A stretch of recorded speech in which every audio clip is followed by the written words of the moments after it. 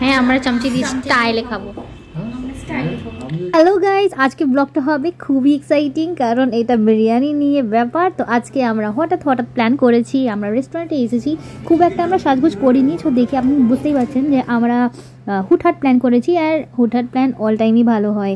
আর রেস্টুরেন্টটা এত সুন্দর ছিল লাইটিং প্লাস মিউজিক বাট আপনি দেখতে পাচ্ছেন এখন রেস্টুরেন্ট চেঞ্জ হয়ে গেছে। তার কারণটা হচ্ছে যে আগে রেস্টুরেন্টে খাবার ছিল না, তো তাই আমরা এখানে অন্য রেস্টুরেন্টে এসেছি। আর রেস্টুরেন্টের নাম হচ্ছে Haji that is in Behala খুবই ফেমাস ফর বিরিয়ানি তো এইখানে আমি ভিডিও শ্যুট করছি।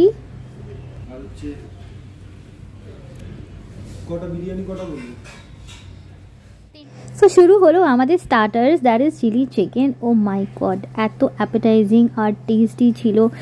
চিকেন দিয়েই অর্ধেক পেট ভরে গেছিল বাট তাও আমরা খেয়ে যাচ্ছি। কারণ সুযোগ যখন পেয়েছি সবাই মিলে প্ল্যান করলাম তো খুশি খুশি একটু বেশিই খিদে পাচ্ছিলাম।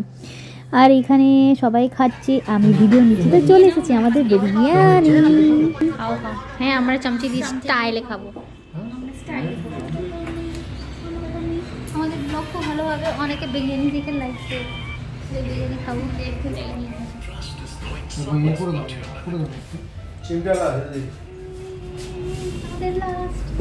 সবাই টাটা করে দাও প্লিজ একটু টাটা করে দাও। ভাই, একটু টাটা করো। একটু টাটা করো। Sorry, dass